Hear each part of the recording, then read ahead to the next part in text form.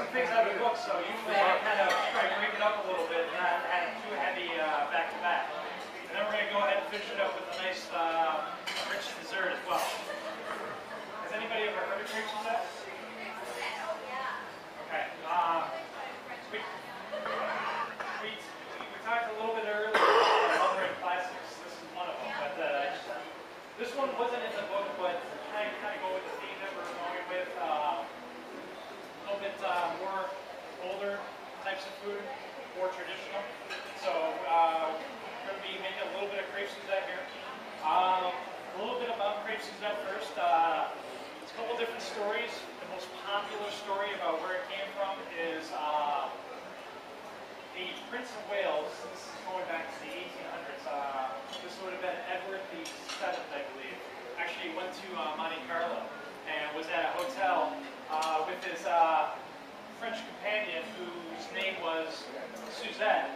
And so the uh, the chef, uh, to impress the the Prince of Wales, made this big flaming dessert and named it after his uh, lovely companion. That's that's the more common story. There's another story about uh, something about a uh, an actress whose name was uh, Susanna, but went by Suzette. And uh, she was in some play back in the 1800s, and actually she played a barmaid, and actually had to make this dessert, and so they flambéed it just to get the audience's attention. That's the other story. So.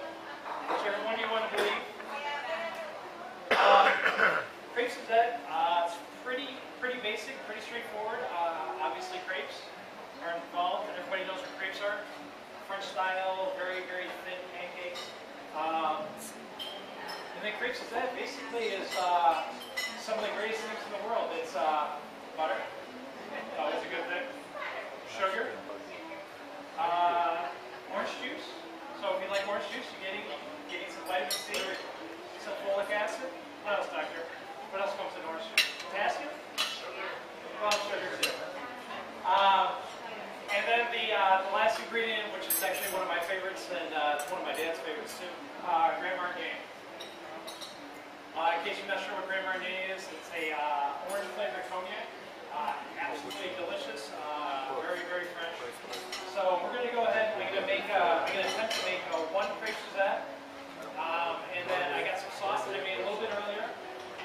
And then we'll go ahead and finish off the rest of it. Oh, and uh, if you look at the recipe or the menu, uh, it says a little sweet cream. Um, even though this is a French dish, um, I was going to put some uh, some sweet whipped cream on there, but uh,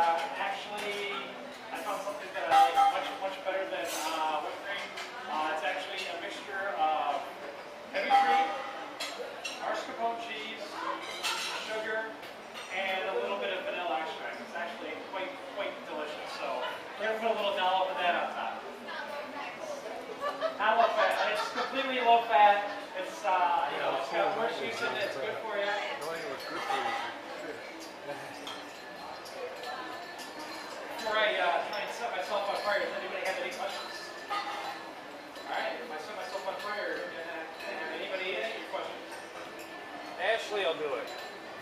What's that? Ashley will answer the questions. Yeah, Ashley can do it. Alex Stroll here. When you first started out, it wasn't too bright and kind of cozy looking. He was a comic book salesman. And I thought, well, that's his fate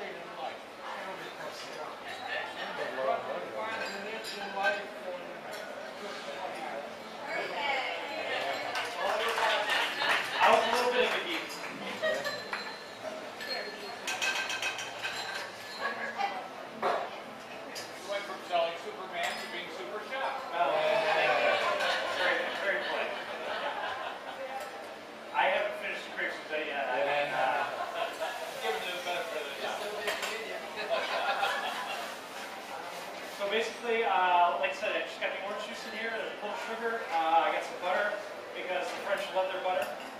Um, basically what we're doing is we're going to let this reduce down. And it's going to kind of make, a, not so much of a caramel, but it'll make kind of, it'll get syrupy. The sugar will make the uh, orange juice get a little syrupy. The butter will help tighten it up a little bit.